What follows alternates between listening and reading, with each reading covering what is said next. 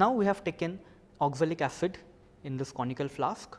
For titration, we have to add phenolphthalein indicator 2 drops.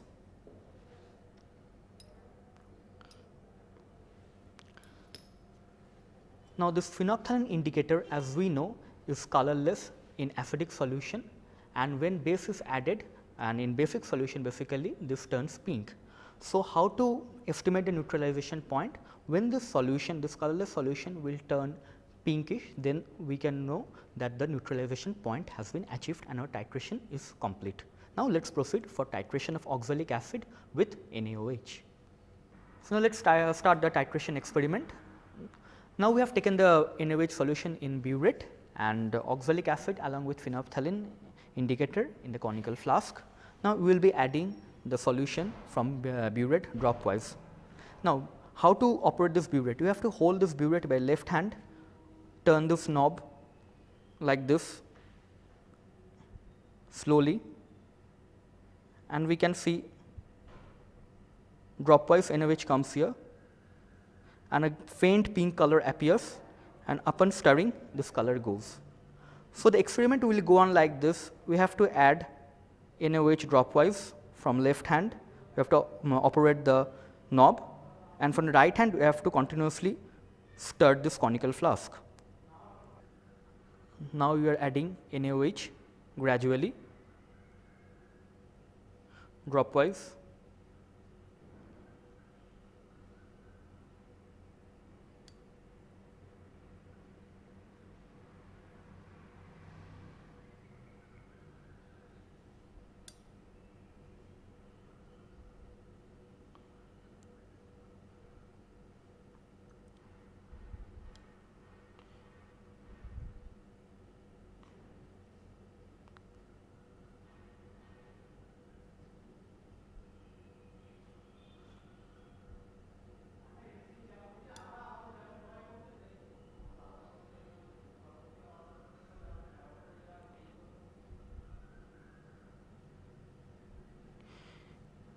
Here we can see we are almost close to the end point since the intensity of the pink color is gradually increasing and here with one single drop we can see we have reached this end point.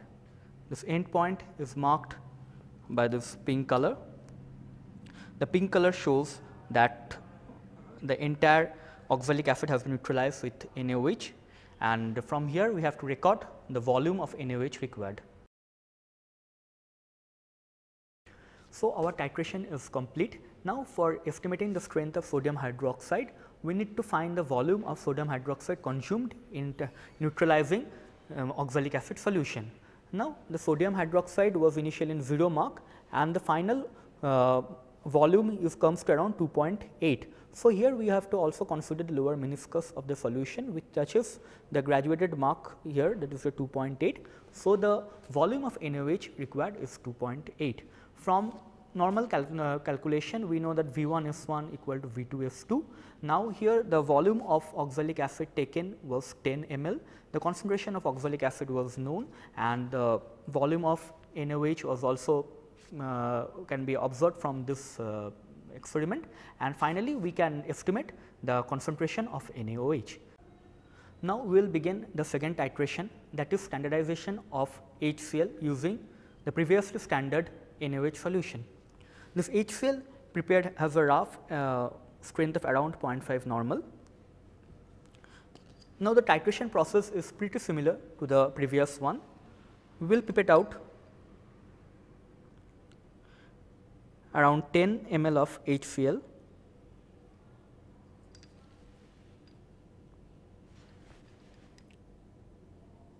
we have to gradually adjust so that the lower meniscus of the solution touches the 0 mark, the same concept we used in case of burette. Now, we will be transferring this into the conical.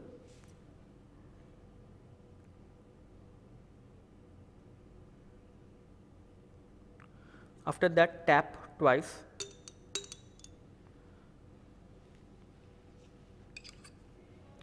again we will be adding 2 drops of phenolphthalein indicator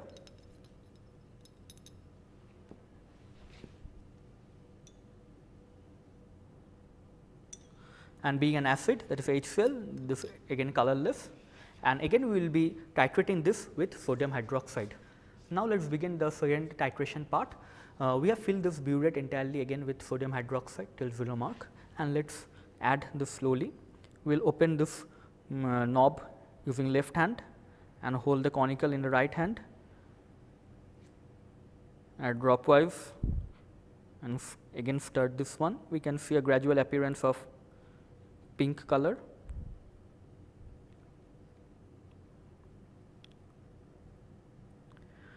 What happens actually is that when NaOH is added, when one single drop falls out here, the local concentration of NaOH is very high, which shows this pink color. However, again on mixing, this is neutralized and the pink color disappears.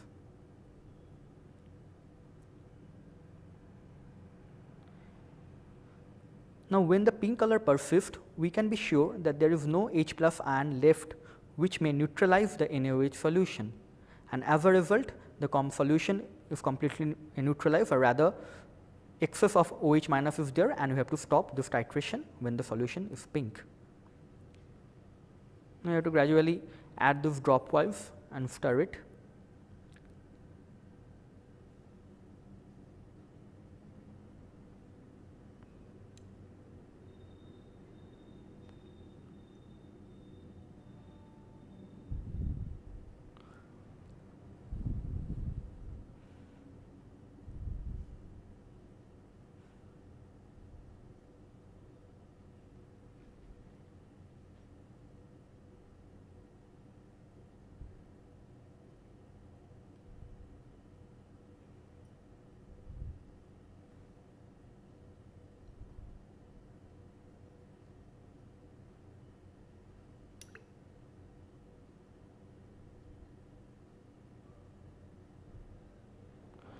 And one small thing out here is that if any time uh, you feel that one of the drop has been uh, out there in the side of the conical inside the conical, you can use double distilled water anytime. Okay. And just clean the sides. Please note that if you, you can easily use water during titration because upon using water only the volume changes, the concentration may change, but the number of moles of the component remains same. So, titration is all about equivalence reaching the equivalence point that is number of moles or equivalent present in the solution. So, adding water does not change anything in the titration process.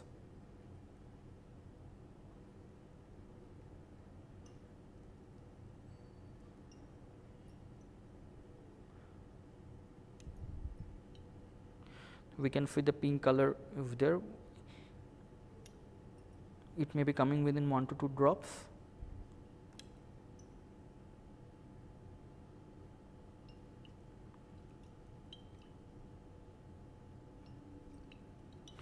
and here. Here finally, pink color appears that is a solution is completely neutralized or rather a single a small amount of uh, alkali is excess in the solution. Now, we have to determine the strength of HCl solution again. So, we are done with the uh, titration process. The solution has been turned into pink. Let us see the concentration of HCl required. For this, we have to note the volume of NaOH that is utilized in this process.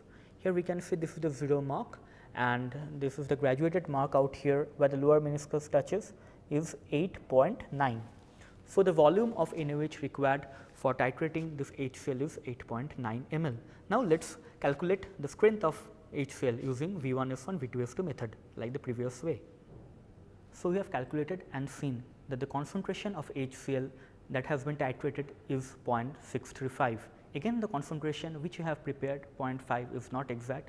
Being a secondary standard, the concentration of HCl that has been determined using titration method is 0.635 normal. This HCl will be used for protonation of the amino acid used for titration. Now, let us proceed for the estimation of pI of amino acids. Now, for calibration first we will calibrate it using pH 7 standard buffer. Now, this pH 7 standard buffer has been transferred into this beaker and the pH electrode is immersed into this beaker.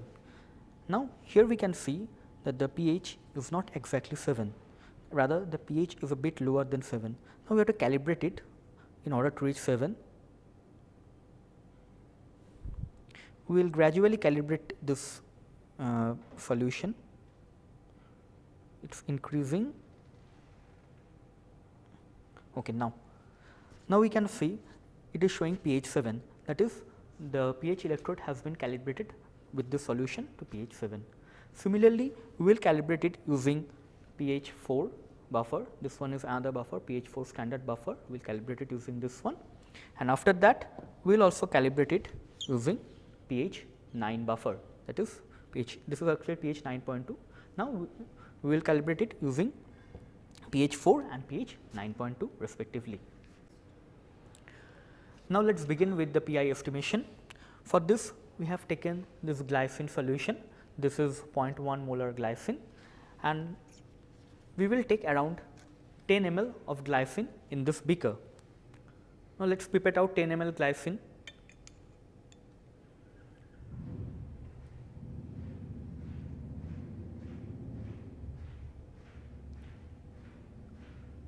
Now, the solution lower meniscus just touch the 0 mark, I prepared out 10 ml of glycine. I carefully taking this in this beaker, this 100 ml beaker.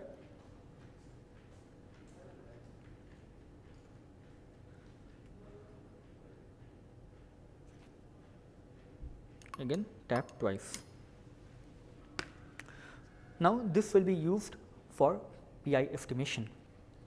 We have taken this glycine solution in the beaker, this 10 ml glycine solution. Now, before beginning this with this experiment, we have to completely protonate this glycine. For this, we have to add HCl solution, the standardized HCl solution. Now, what amount of HCl should we add? The HCl should be sufficient enough to completely protonate the glycine. For this, we have to calculate the number of moles of glycine present here. That is, we have taken 0.1 molar 10 ml glycine. Now, we have to we can calculate from V 1 S 1 the, the amount of um, the moles of glycine present out here. Now, we have taken 10 ml of 0.1 molar glycine solution. From this we can calculate the number of moles of glycine present here. We know the concentration of HCl that is standardized in our just uh, previous experiment. The, from this standard HCl we have to add the fixed amount of uh, HCl, the fixed volume of HCl which will make up the total number of moles of HCl equal to the number of moles of glycine present. That will protonate the number of uh, NH2 that is the equal moles of NH2 present in glycine. So, let us start the protonation process and let us add this HCl. So, before beginning with the pH titration method, so what we have to do? We have to uh, just add distilled water to. So, before beginning, we have to add distilled water to this glycine solution. So, as we know adding water does not basically change the number of moles and uh, it is required since uh, we need to dip this pH electrode completely into the solution. So, we are adding the amount, amount of water that is sufficient enough to immerse the electrode completely into the solution. Now, let us proceed for adding the HCl solution. Now, for calculating the amount of HCl that is required to be added here, now we have to find the number of moles of the amino acid. Number of moles of amino acid is equal to uh, 10 into 0.1 and 10 ml of amino acid required into 0.1 molar and here we can see the volume of HCl required is equal to in the simple V1S1 V2S2 method is around 1.57 ml. So, it is not the exact one. So, around 1.57 uh, to 1.5 ml of HCl can be added gradually and we can see a lowering in the pH value and we will start the experiment once we have added this HCl. So, let us add this HCl solution. We have taken this HCl, the amount of HCl to be added we have seen it is around 1.5 ml. So, we have taken this glycine solution and uh, in a beaker and put it in a magnetic stirrer. We have put a magnetic bar to it. We have to make sure that the bar is completely clean and uh, free of any sort of impurities uh, covered over it. So, let us start with this. So, before that we have to add HCl solution pipette out HCl.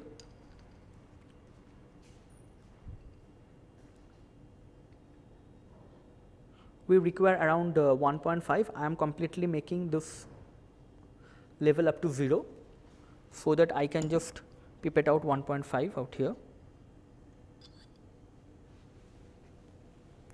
Now, we will be slowly adding this one HCl.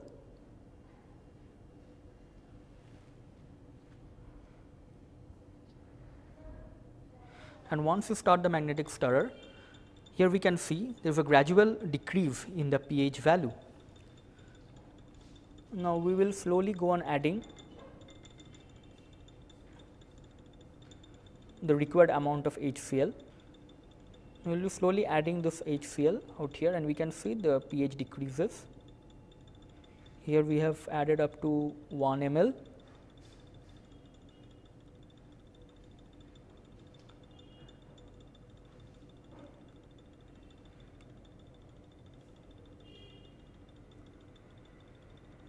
One point four and now one point five. However, we can uh, see that the pH is around 2.64. In order to check whether complete protonation has taken place or not, we may add a small amount of we may add a small amount of H plus if required, just a single drop.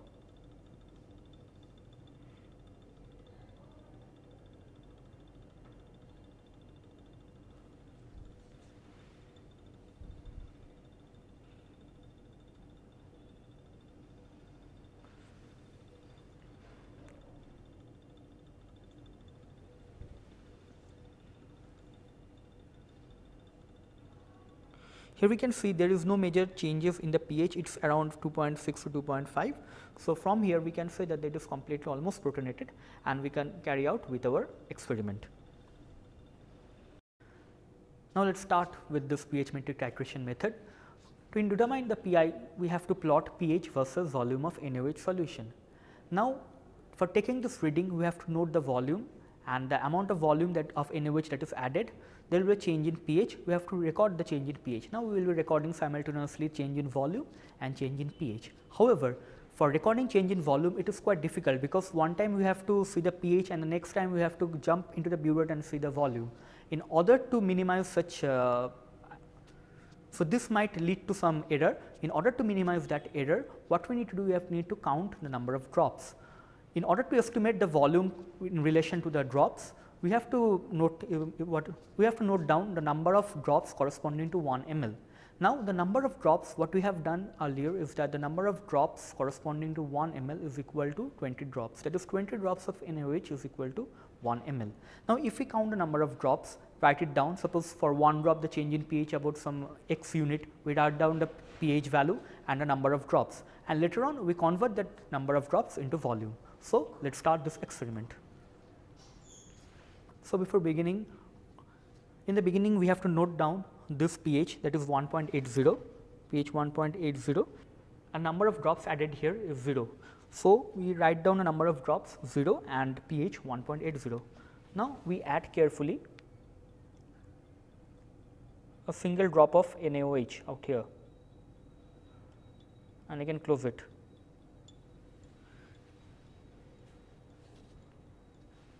And gradually increase this magnetic stirrer. We can see at around one, you know, one drop, when you have added one drop there is no special change in pH value and it remains around 1.8 to 1.81. So, it is around 1.81. Now, let us add 2 drops, 1 drop to drop.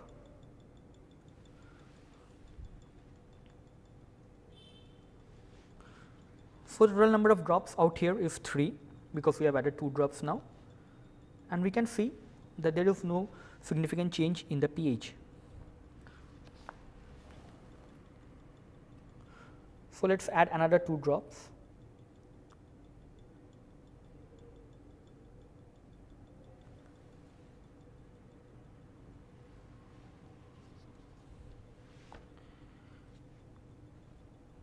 We can see the pH gradually increases slightly. Now, let us add another 2 drops.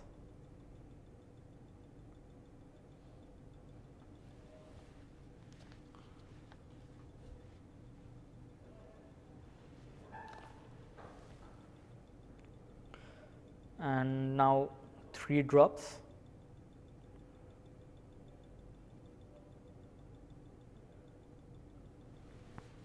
Total number of drops comes out to 10, 1.84. So, we can see here that the increase in pH is very slow. So, what we can do we can carry out with uh, around 2 to 3 drops at a time. Okay, it is around 1.85.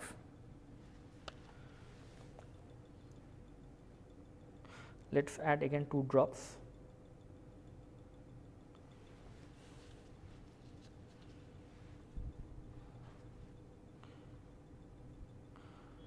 One point eight six again 2 drops.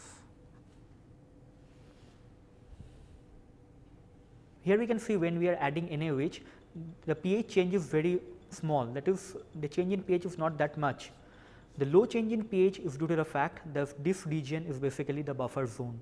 As we have studied in the theoretical uh, part, as we have seen in the theory classes that this is a buffer zone where the change in pH is very less because as we know the buffer resists the change in pH due to buffer zone here the change in pH is very small. Now, once this inflection point is reached here we can see there will be a sudden jump in the pH value. So, let us go on adding.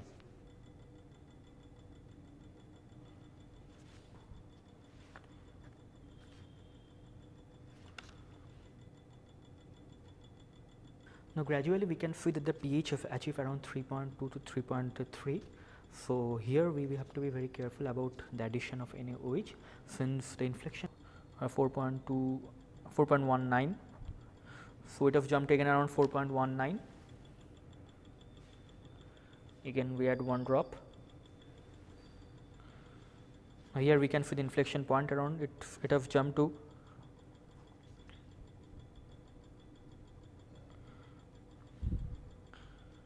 it has jumped around 6.3 to 6.2. So, it will get stabilized gradually.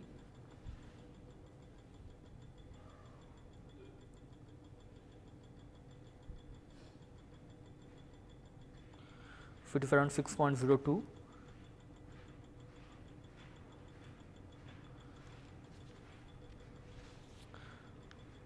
Okay. Now, it has sharply jumped to 8.2 to 8 okay 8.29. So, here we have just crossed the inflection point.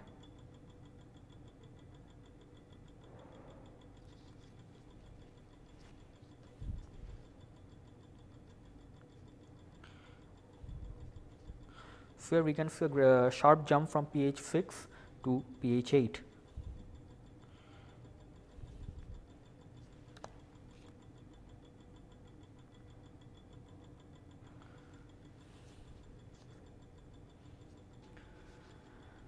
So, the first inflection point, so we have just crossed the first inflection point where there is a sharp change in the pH. So, this indicates that the uh, in the first inflection point there is a sharp change in the pH value which indicates that the COOH that is which was completely protonated com, uh, converted into COO minus in glycine and which gives another form where only NH3 plus is protonated and COO minus I mean the carboxylic this gives another form of glycine where the NH2 plus is protonated to give NH3 plus and this carboxylate is uh, deprotonated and COO minus that is the carboxylic acid has come to carboxylate group and again it has reached to a second buffer region where we will see again a gradual or slow rise in the pH value.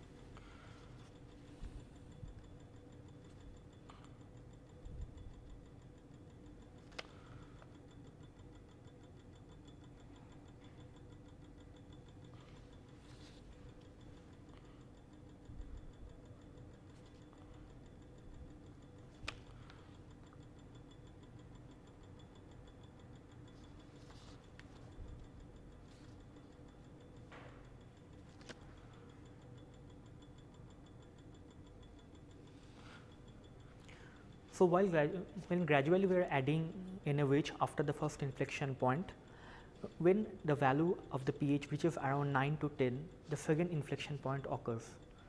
However, what happens is that this inflection point, the change in pH out here is not that sharp like the previous one. So, we can't basically distinguish out here uh, just by uh, we can't actually distinguish out here just by observing the pH value where the inflection point occurs. For that we need to plot the graph. Now, one thing uh, it is recommended that kindly add the uh, burette from the kindly add NaOH drop wise 1 to 2 drops as recommended. It is recommended to add NaOH 1 to 2 drops each and every time. It may take quite a long time for this titration to occur. However, if you add uh, suppose 4 to 5 drops at a time, what may happen is that the inflection point you might cross the inflection point okay. and upon crossing the inflection point uh, the graph which you will be plotting out there will not be accurate and the proper pI value can't be determined from that graph. It better it's it is better to add NaOH drop wise 1 to 2 drops at a time uh, in order to get a proper inflection point from this titration.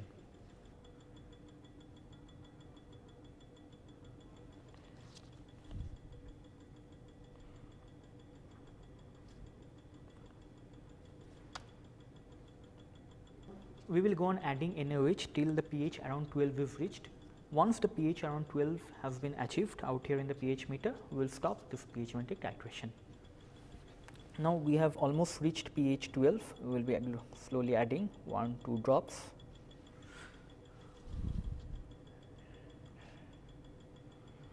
However, in this region as we can see the change in pH is very slow. since this is completely a buffer region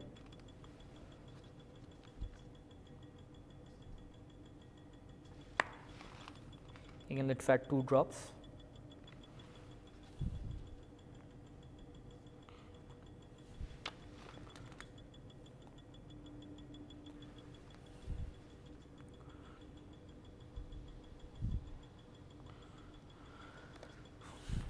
So, here we can see that the pH is just above 12 or almost 12 here we will stop this titration part and we will go now we will shift to the calculation part where we will plot pH versus number of uh, drops which will be converted into the volume of NaOH and from there we can calculate the pI. Now, we are done with this glycine titration we will next move into titration of lysine with NaOH.